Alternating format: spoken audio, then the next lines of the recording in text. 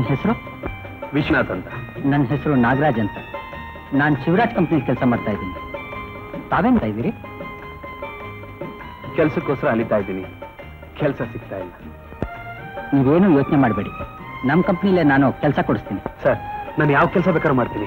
ನೀವು ಅಷ್ಟು ಮಾಡಿಕೊಟ್ರೆ ನಂಗೆ ತುಂಬಾ ಉಪಕಾರ ಆಗುತ್ತೆ. ನೀವು ನಾಡ್ದೆ ನಮ್ಮ ಮನೆಗೆ ಬನ್ನಿ. ನೋಡಿ ಅಲ್ಲಿ ಮೂರನೇ ಕ್ರಾಸ್ನಲ್ಲೇ ನಮ್ಮ ಮನೆ. ಅಲ್ಲಿ ಬಂದಿದ್ದೆ ನಾಗರಾಜ ಕೇಳಿದ್ರೆ ಹೇಳ್ತಾರೆ. ಕೂತಿರು ಹಾಗಾದ್ರೆ ಈ ಹಣನ ತಮ್ಮ ಕೊಡೋದು ಹೇಗೆ ಸರ್? ಕೈಯಲ್ಲಿ ಮುಟ್ಟೋದಿಲ್ಲ. ಮೈ ಮೇಲೆ ಹಾಕೊಳ್ಳೋ ಕೋಡ್ ಅಲ್ಲಿ ತಗಲು ಹಾಕಿದ್ದೀನಿ. ಮೇಲಿನ ಜೇಬ್ನಲ್ಲಿ ಇಲಿ ಬಿಟ್ಬಿಡು. ಹತ್ತು ಜಾಕ್ಪಾಟಾಗಾಯ್ತು.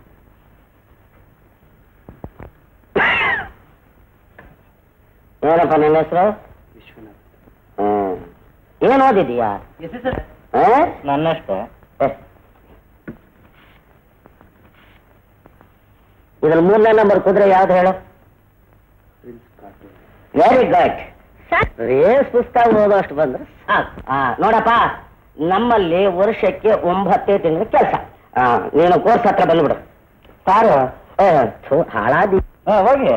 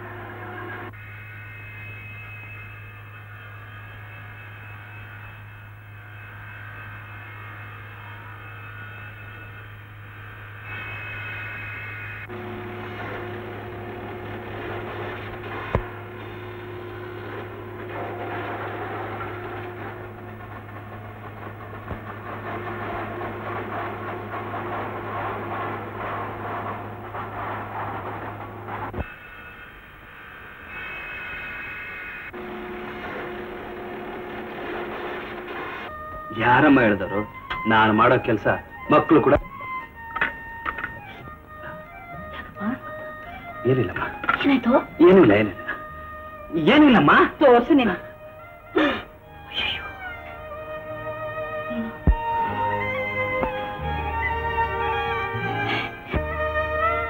ಅಮ್ಮ ಯಾಕಮ್ಮ ಅಳ್ತಾ ಇದೀಯಾ ಕೆಲಸ ವಸ್ತು ನೋಡಮ್ಮ. ಪ್ರಾರಂಭದಲ್ಲಿ ಹಾಗೇನೆ. ಹೋಗ್ತಾ ಹೋಗ್ತಾ ಇಲ್ಲ ಸರಿ ಹೋಗ್ಬಿಡುತ್ತೆ. ನನಗೆ ನೋವಾಗ್ತಾ ಇಲ್ಲ ಈಗ. ಹೆತ್ತೋಳು ನಾನು ನೋಡು. ನೋವು ನನ್ಗಾಗ್ತಾ ಇದೆಯಪ್ಪ.